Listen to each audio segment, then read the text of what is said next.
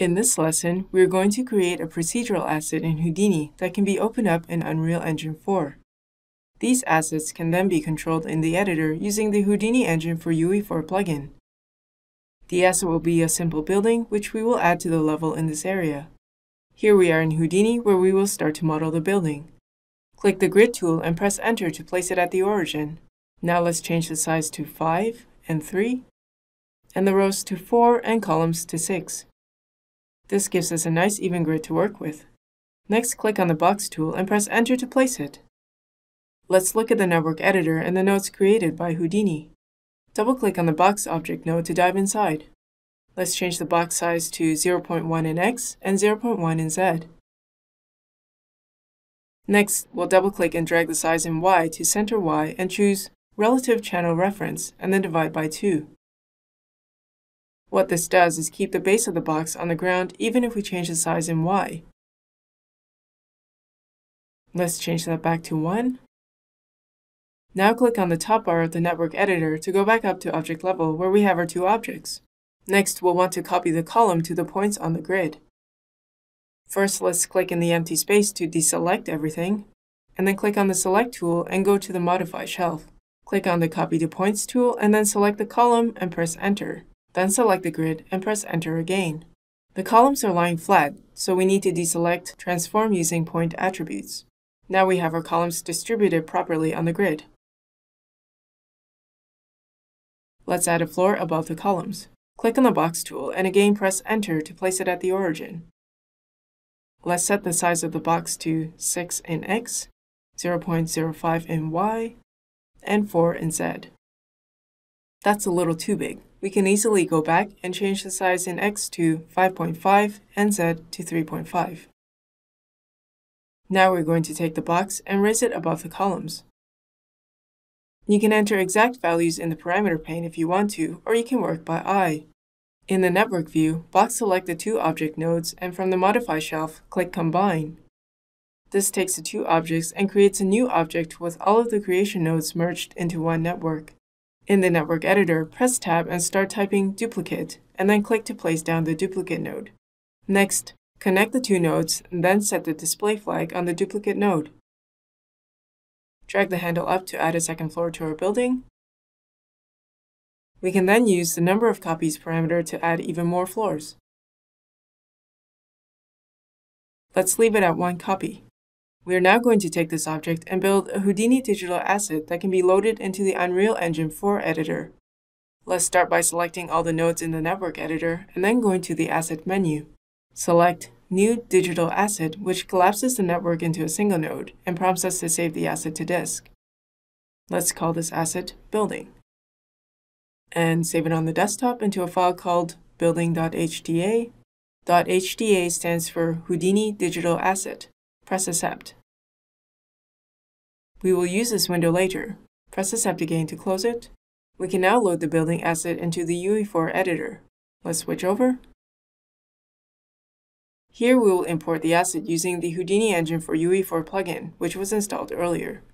Click on the Import button and find the building asset on the desktop. Click Open and the asset opens in the content browser. Now drag the asset from the browser into the workspace and the asset's going to cook. The geometry is now in place and we can tumble around to see it, but it's too small and doesn't work with our character. Don't you hate when that happens?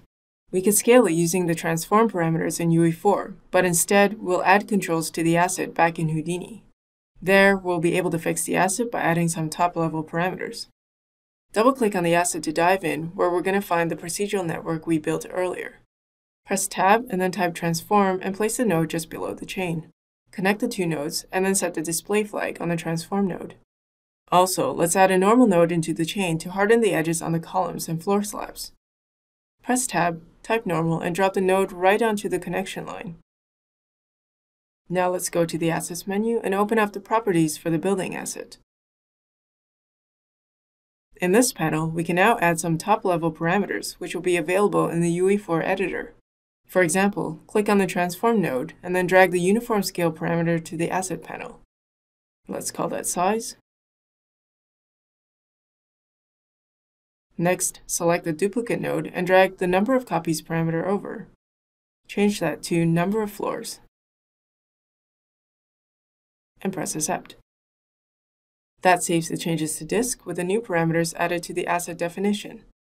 Now let's go back to the UE4 editor where we can keep working with the building asset.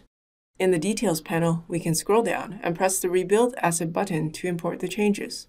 At first, we won't see any changes in the viewport, but in the Details panel, we can see that there are two new parameters. One of them is the size parameter, which can be used to scale up the building. Let's make it big enough to suit our character, and we'll tumble around to get a better look. We can now adjust the number of floors to make the building taller. Now if we press play, we can walk around the level and see the building in action. You may have noticed we didn't collide with any columns. We need to set up collision geometry. One way to solve that is to set up a building underscore geo group inside the Houdini asset, but we aren't going to do that here. The other option is to go to the collision complexity parameter and set it to use complex collisions. Now if we press play, we can then walk around the level and collide with the columns.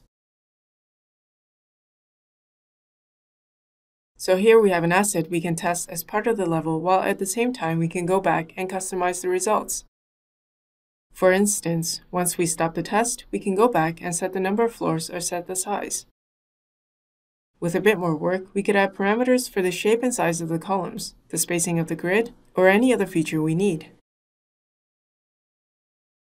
Now let's go back to Houdini and add some ramps so our character can climb up the building. Here's our original model, which still only has two levels. We can work with these and the changes will then be transferred to our UE4 asset.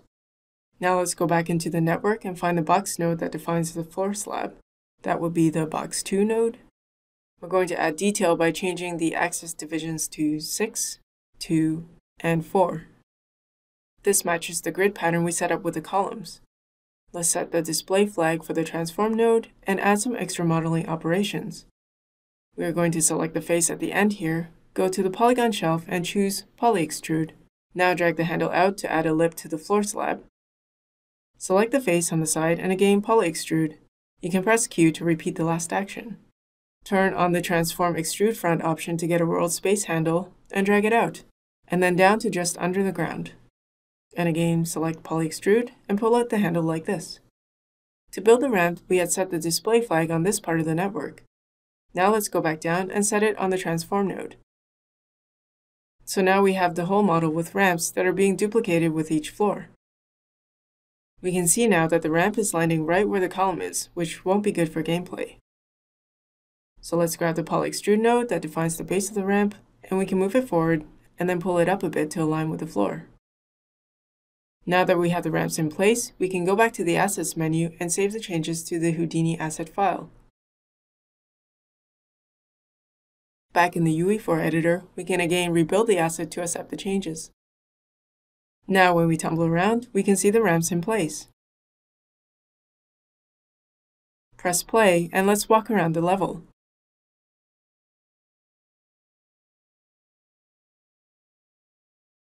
As you can see, we can move higher up in the building with our new ramps.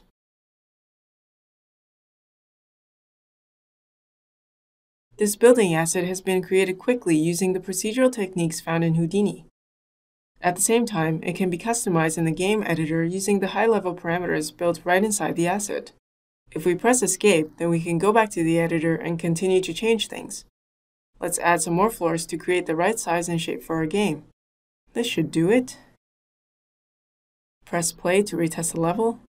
We can move over to the corner and view the new building with all of its floors. Now you know how to create assets in Houdini that can be used as game art in UE4. These assets can be built by you and shared with other artists working on different game levels. Houdini and Houdini Engine for UE4 create a powerful new way of generating game art that will take you to new heights. Pun is definitely intended.